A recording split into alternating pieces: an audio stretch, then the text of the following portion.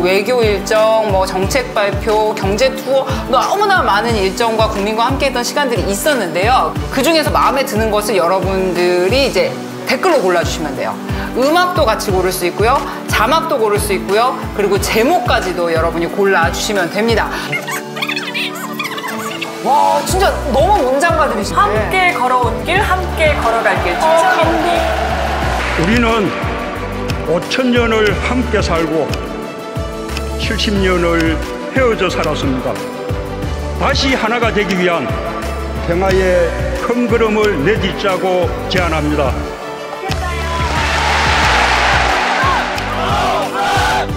평화가 경제다 라는 말을 강원도만큼 실감하는 곳이 없을 것입니다. 강원도의 힘이 새로운 한반도의 시작이 될 것입니다.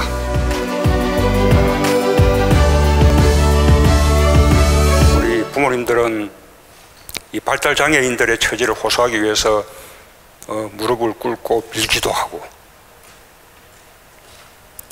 어, 그런 음, 아픈 마음에 대해서 우리 사회가 얼마나 이제 따뜻하게 아, 이렇게 마음을 보여주는지 네, 그런 이제 반성이 듭니다. 정부에서도 저희 목소리를 들어주시고 저희가 원하는 정책이나 그런 제도들을 만들어 주시려고 노력하시는 거 보고 아, 네 정말 너무 감사하게 생각하고 평화도, 혁신 성장도, 포용 국가도 우리는 이뤄낼 것입니다.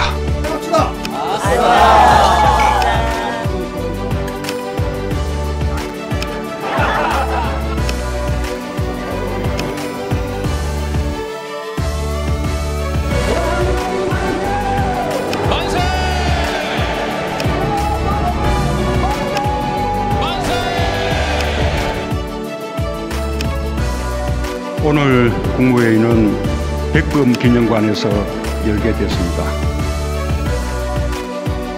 이제야 모시러 왔습니다. 우리는 오늘 시간과 국경을 뛰어넘어 독립운동의 역사와 마주하고 있습니다.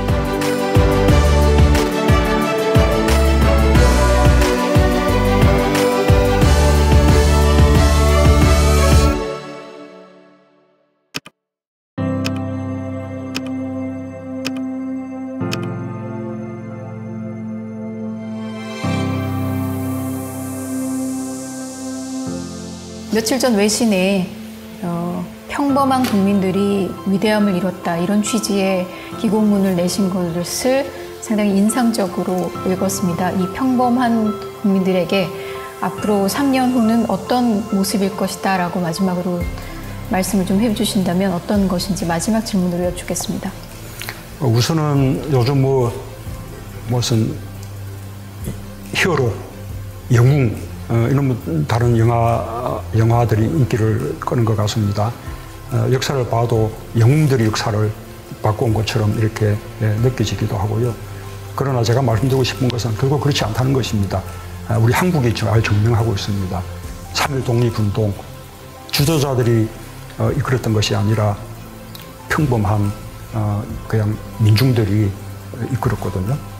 어, 그 다음에 뭐4.19 혁명, 그 다음에 북한민주항쟁, 또 5.18 광주 어, 민주화운동, 뭐 6월 항쟁, 그리고 또 어, 우리가 지난번에 그 촛불 어, 혁명조차도 전부 다 평범한 시민들의 선한 의지가 모여서 어, 이루어낸 것이지 않습니까?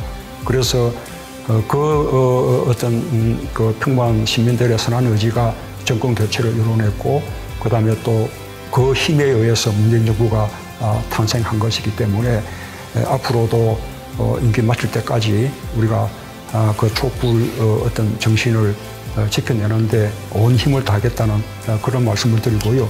보다 이제 구체적으로는 어, 지금까지 이제 우리 경제가 강자의 경제였다면 어, 이제는 공정한 경제로 그 다음에 또 반칙과 특권의 이 난무하는 그런 시대였다면 어, 이제는 어, 그 역시 에, 그런 것이 없는 공정한 어, 사회로 그 다음에 또 양극화가 극심한 어, 그런 사회에서 이제는 또 함께 잘 사는 그런 식의 어, 경제로 또 남북 관계도 어, 대립과 전쟁의 시대에서 이제 평화의 시대 넘어서 협력의 시대로 나아가서는 평화 경제의 시대로 어, 이렇게 이제 에, 발전시켜 나가겠다는 것이 어, 저희 목표입니다. 물론 우리 정부가 그 모든 일을 다 이룰 수 있다고 생각하지는 않습니다.